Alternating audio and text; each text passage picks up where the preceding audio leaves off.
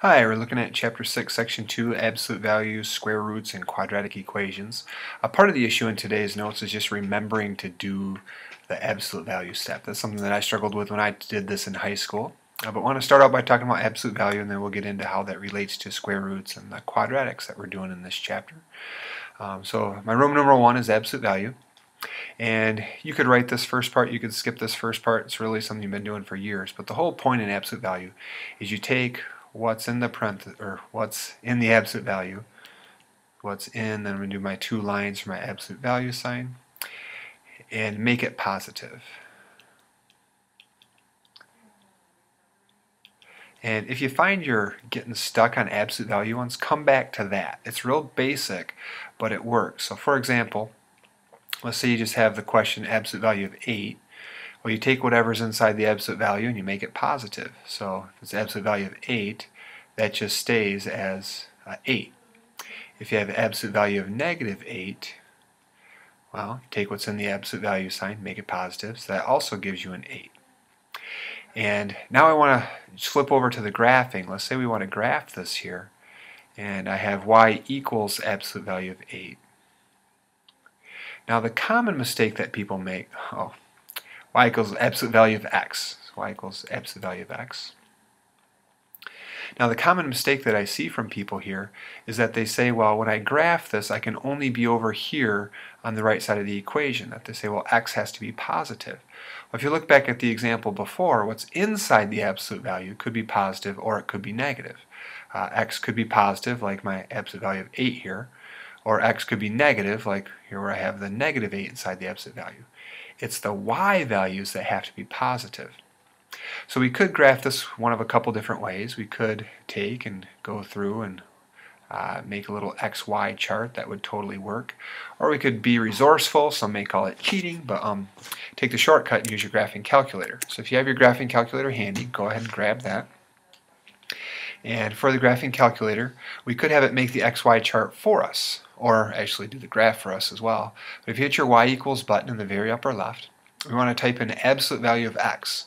Now absolute value is a little bit hard to find, uh, so once you're into your y equals, you can press your math button right over here below the second.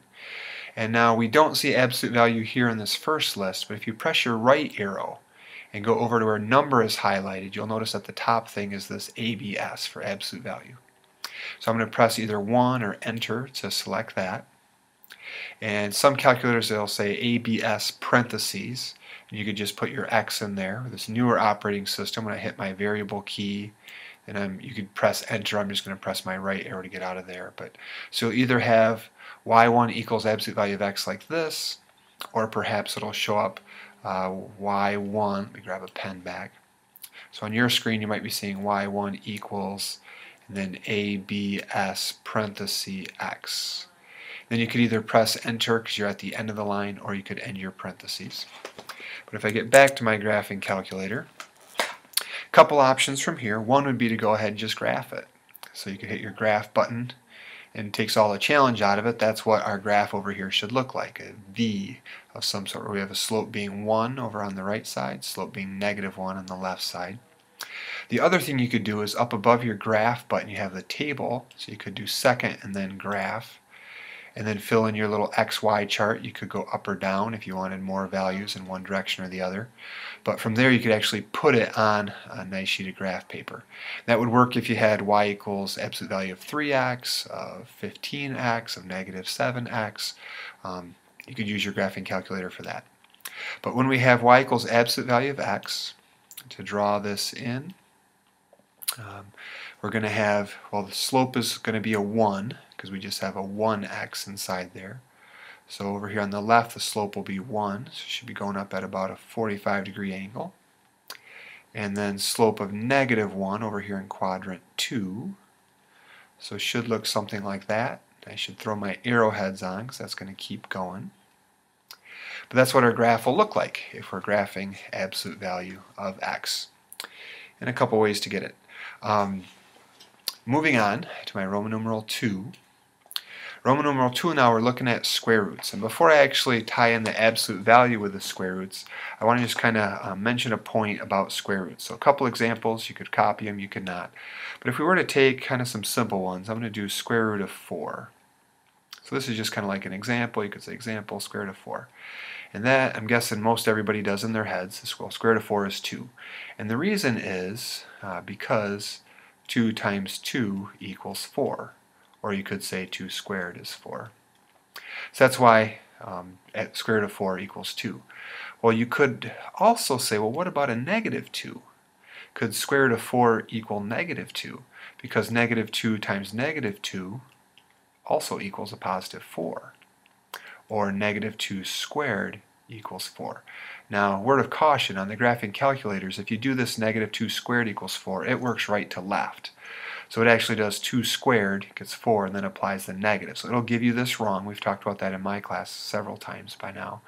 But if you're going to do a negative number to an even power, you need to put it in parentheses, or I usually just drop the negative when I punch it in the calculator.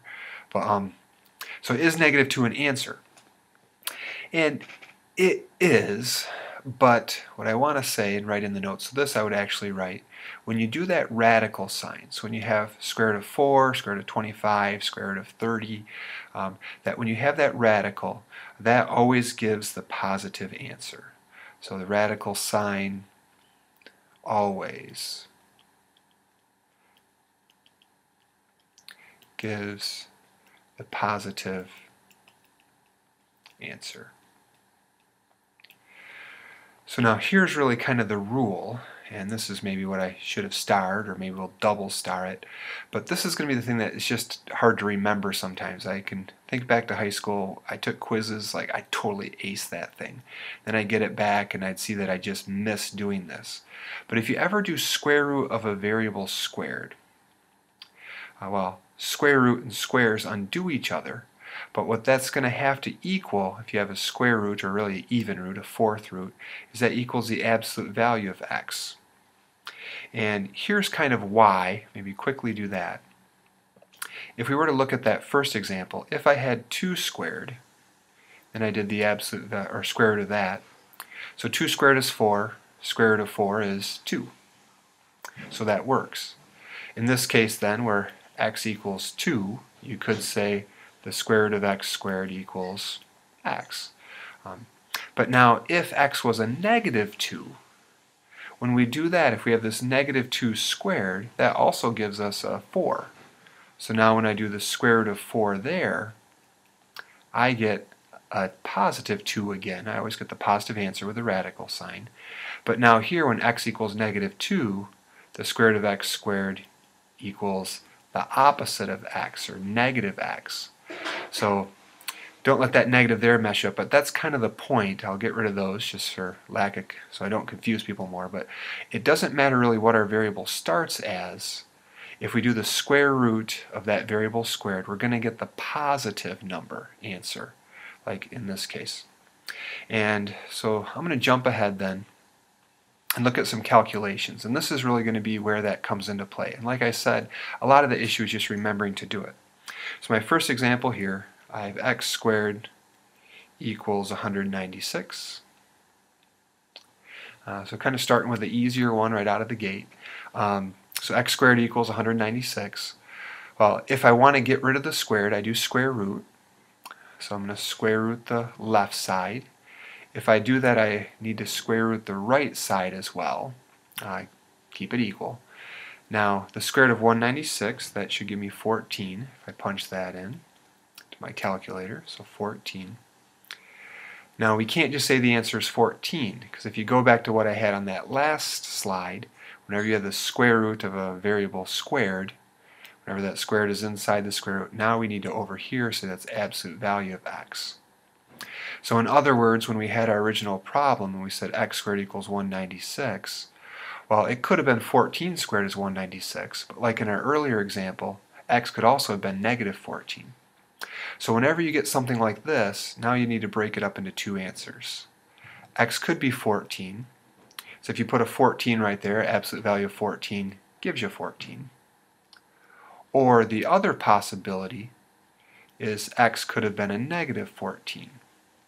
Because if I were to take and rewrite this here as absolute value of negative 14, that also gives me the positive 14.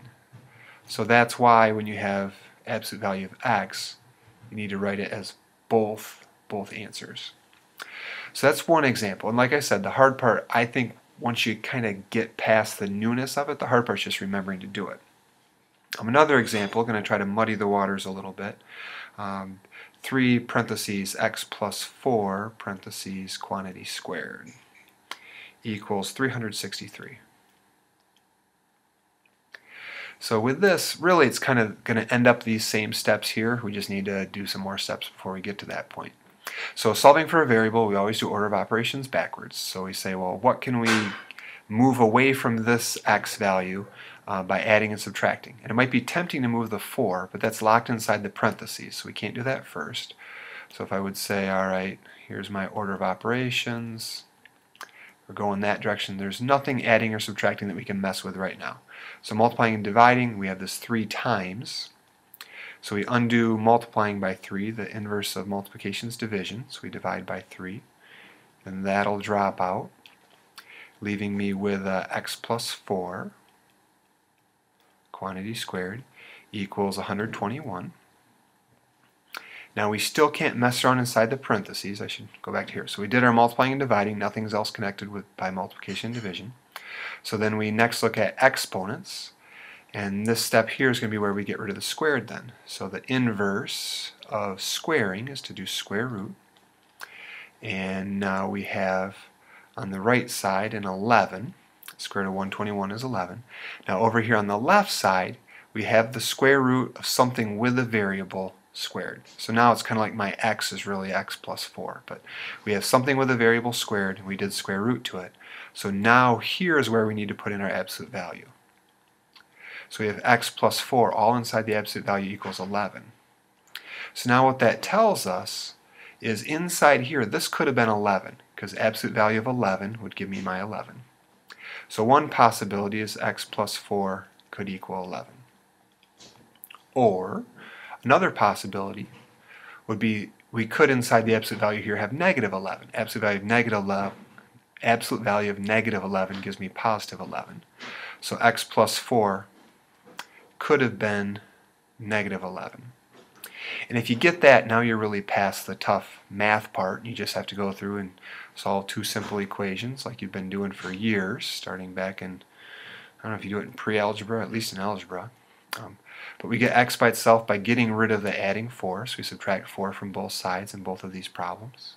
So then I get an x could be 7. So x is 7. Or, over here on the right, I have x equals negative 15. So going back to my original problem here, um, I could have put a 7 in here for x. If I punch all that in my calculator, I get 363. Or I could have put a negative 15 in here for x. So it would give me my negative 11 squared times 3 would also give me 363. So these two here are going to be my two possible answers for example 2. A couple more examples and then we're getting close to the end. Uh, so my example 3 is going to be solve for r. And this I'm really just stealing from the book. It's example number 3. But they say something like uh, a, the area of a circle, is 100. So we'll say area of a circle, a equals pi r squared. If this equals 100, we could go through and solve this thing. So I'm going to kind of get rid of my a here and just say, well, pi r squared is 100. So first step is going to be to, well, what's connected by addition subtraction? Nothing. So we don't worry about that. Uh, next step, what's connected by multiplication and division? And that's the pi, so we could divide by pi. And that leaves me with my r squared equals 100 over pi. Now my next step is going to be to square root both sides. And you could do 100 divided by pi in your calculator right there and get some decimal. Then make sure you do square root of your answer eventually. Um, but now I end up with absolute value of r equals. And eh, I won't punch it. I'm just going to go off my notes. So if you would punch that in your calculator, this here would, inside the radical, comes out to be about 31.83. Uh, it should keep going. So if you do square root of that, then including all the other decimals, you're going to get something real close to 5.64. So now what that tells us is inside my absolute value, r could be 5.64, or your other possible answer would be r equals negative 5.64. And a lot of times, once people start getting the hang of this, they just kind of start flying through questions. They're like, well, who, I did it right, I'm done, move on. But if you go back to what the problem was actually asking, it was saying, well, the area of a circle is 100. So now when you talk about your domain, well, what's the domain of your r values? What possible radii could you have for circles? You can't have a circle with a negative radius. So even though mathematically we could get two different numbers for the radius of a circle, logically only one's going to make sense. The radius has to be 5.64. You can't draw a circle with a negative radius. That's really pretty much the end of the notes. Um, just to make the homework easier for our book, I want to make a comment about rational and irrational numbers. That's another thing we did in chapter 1 in addition to the uh, domain and range stuff. So rational numbers, those are going to be numbers that could be written as a fraction. Um, so rational numbers, uh, they can be written as a fraction. So can be written as a fraction. So what does that mean in like real person language? It's going to be a couple different kinds of numbers. One, it's going to be, maybe we'll say integers. If you have something like a 4, well a 4 is just 4 over 1. A million, over 1. No. So it's going to include integers. It's going to include uh, decimals. That the math word is terminate. I'm just going to say stop. Um, so if you have like 0.23, that's the same as 23 over 100. If your decimal was 7 digits long, then it'd be whatever those 7 digits would be over a 1 with 7 zeros. Um, so decimals that stop, all those can be written as a fraction. Or repeat. And the most common one for that is going to be uh, like 0.3 repeating, is what a lot of people will think of. Because 0.3 repeating is one third. So rational numbers, going back to chapter 1, uh, anything without a decimal or decimals that stop, terminate, uh, or repeat. Irrational numbers are numbers that can't be written. So can't be written as a fraction.